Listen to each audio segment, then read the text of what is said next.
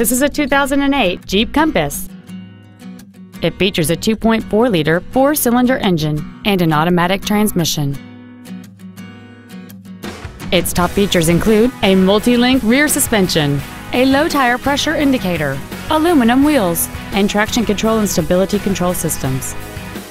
The following features are also included air conditioning, a rear window defroster, a CD player, a four-wheel independent suspension, a rear spoiler, front fog lights, an anti-lock braking system, front multi-stage airbags, rear seat child-proof door locks, and roof rails. With an EPA estimated rating of 28 miles per gallon on the highway, this automobile pays off in the long run. This vehicle is sure to sell fast. Call and arrange your test drive today.